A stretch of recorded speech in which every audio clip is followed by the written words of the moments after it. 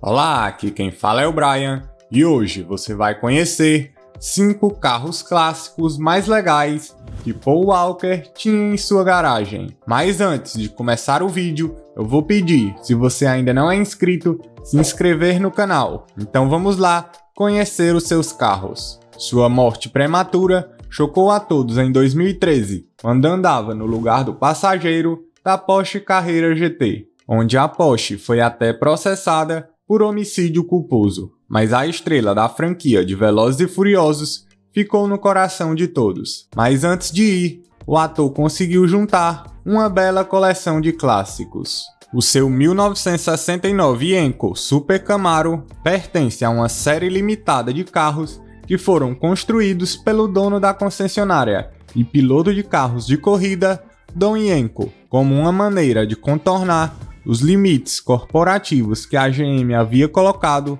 no tamanho e na potência do motor do Camaro.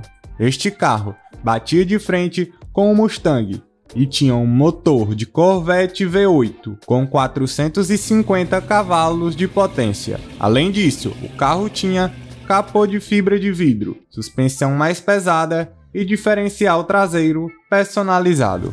Ele também tinha uma BMW E36 M3 Lightweight. Apenas 126 existem no mundo, e Paul possuía não um, mas 5 M3 E36 Lightweights. E como o nome sugere, eles pesavam cerca de 200 libras a menos que um M3 E36 normal. Sua versão normal já era uma fera na pista, então você pode imaginar o quanto eles seriam melhores. Um dos M3 de Paul tinha apenas 7.500 quilômetros rodados e por isso arrecadou 385 mil dólares em um leilão.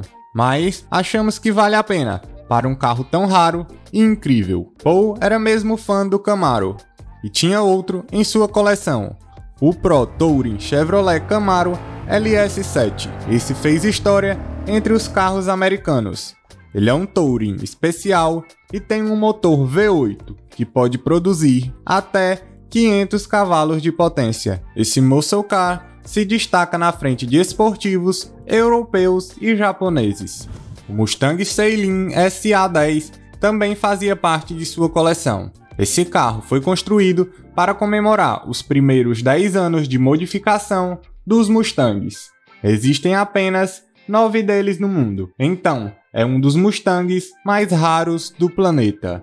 Todos os nove Mustangs Salim pareciam iguais do lado de fora, mas todos tinham peças personalizadas sob o capô, detalhes internos e transmissões diferentes. E para fechar, mais uma BMW, a BMW M1, este que foi o primeiro carro M do fabricante alemão, o que torna no momento este carro um dos mais icônicos e colecionáveis do mundo. O M1 e o i8 são os dois únicos BMW com motor central. A BMW M1 é basicamente um carro de corrida feito para as estradas. Esse M1 de Paul tem a clássica pintura branca com as cores de carro de corrida da marca M.